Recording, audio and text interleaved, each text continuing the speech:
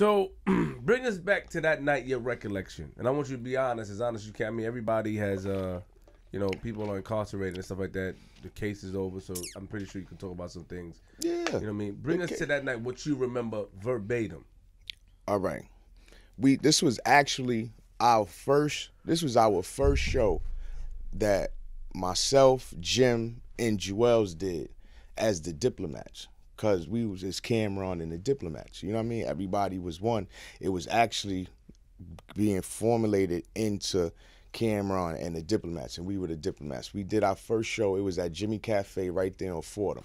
So we did the shit. Shit was shaking and all that. And we met on um after the show was over. We met on um I think 116th in Park, and um we was with my man Britt, and we gave Britt all the all the things that we wasn't supposed to have because we was going home. You know what I'm saying? After the show. Jim went to the Cheetah Club. Back then, it was the Cheetah Club on 23rd Street. Y'all remember that? Y'all remember the No, Cheetah Club? Y'all probably too young for that shit. So I'm like, it, let's go down there. I'm, I'm like, let me go see the nigga Jim. You know what I mean? Because I know he down there. So while I'm looking for parking, a nigga hit my hit my truck. So I don't know at the time what the shit is, but my father told me that was that's the move. What you do? They hit your truck, you get out to see what's going on. They see the jewelry that you got on you, then they book Try you. to get you, yeah. You know what I'm saying? But I when I got out, I was on the run. So when he hit the car, I'm like, "F- ah, shit, I, I don't want to get locked up because I'm on the run. So I tell these niggas to go around the corner. You know what I'm saying? So we go around the corner. So they just sitting there, like, but I should have known. I don't know. I that, I didn't cause I didn't I don't I didn't understand because I'm I wasn't a part of that. Two niggas went down to the corner because we in the middle of the block. One nigga stood right there, and it was that nigga. Now that I now that he's saying it, he was in front of me. You know what I mean? So I'm sitting there. I said, I said, listen, just give me some bread, and y'all niggas could get the f- up out of here. We ain't got to do none of this extra call the police shit and all that. Cause I'm on the run, and my other man was on the run. So they standing there looking like a lump on a log. So I said, yo, where's who's the nigga with the money so we could get the up out of there?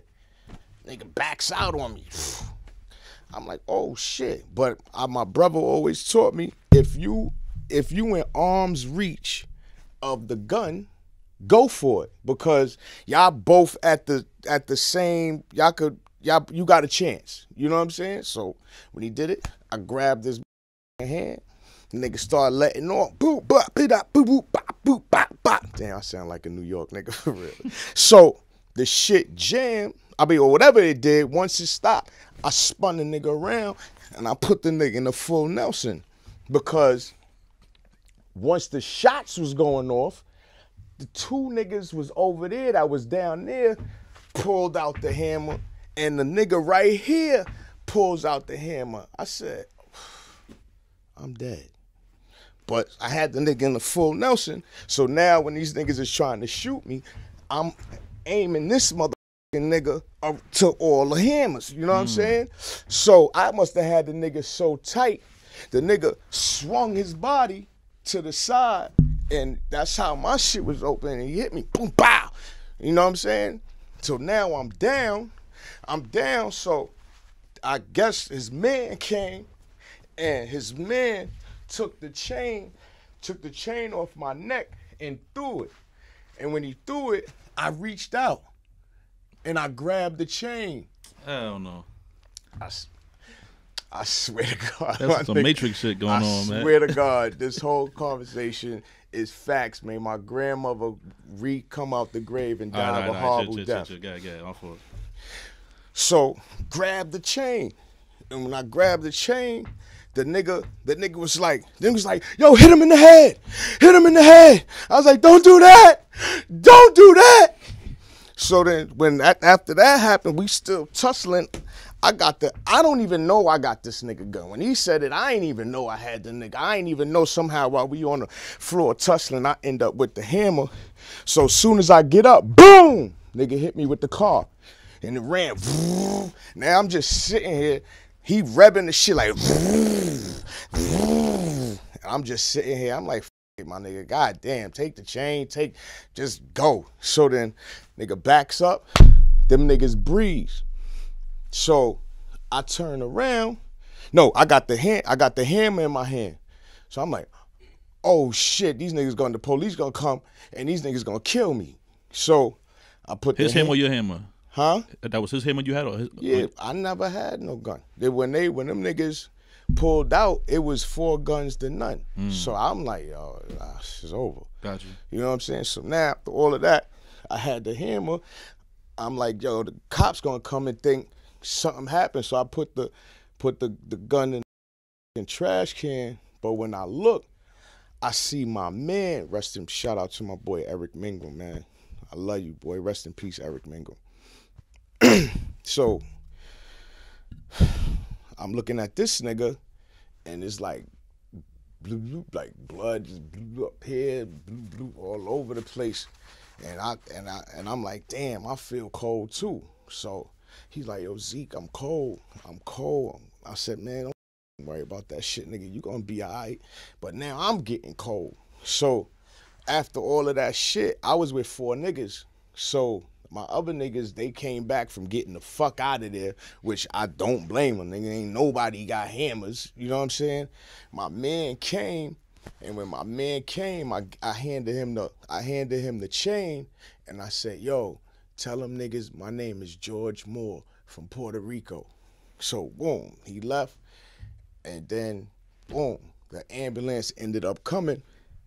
And I didn't notice, but by then, like I said, I went to go see the nigga Jim. I went to cause Jim was a, he was starting and botting. He was always in the cheetah club every time. So I heard that the nigga Jim heard what happened.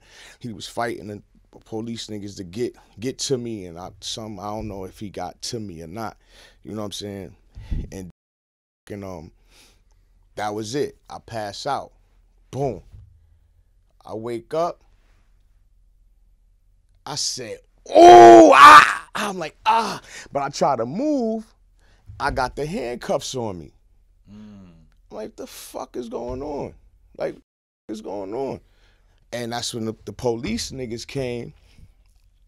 That's when the police niggas came and they was like, yeah, hmm, Mr. George Moore, huh? Or should I say Ezekiel Giles? You're wanted for the murder of Eric Mingram. But that's when I found out my man died. So I'm like, oh, Eric Mingram died, my nigga. I'm like, oh. So they was like, they was like, yeah, well, we we know you got the gun. You you had the gun.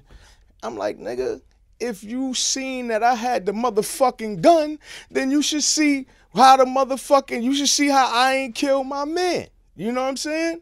It was like, what happened? What happened? I said, I don't know. I seen some green shit. And I just boop, and I just went out.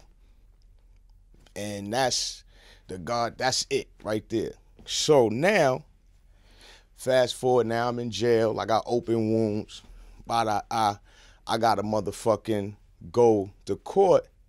And that's why I had to take the stand because I had to explain why I didn't kill Eric Mingram because I had I was in possession of the gun who you know what I mean? I was in mm-hmm. possession of the gun who killed Eric Mingram.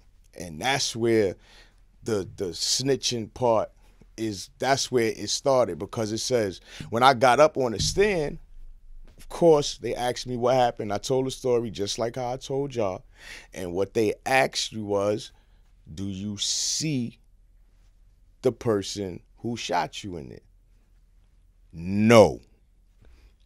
Do you see the person that shot you in there? Ezekiel Freaky Zeke Giles said no.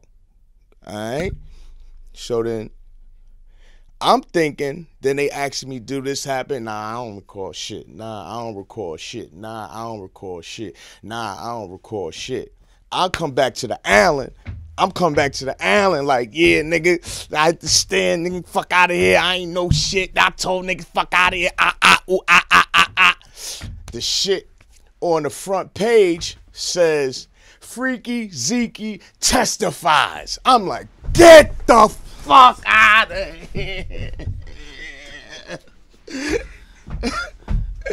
and this is my first time. This is my first time on the island.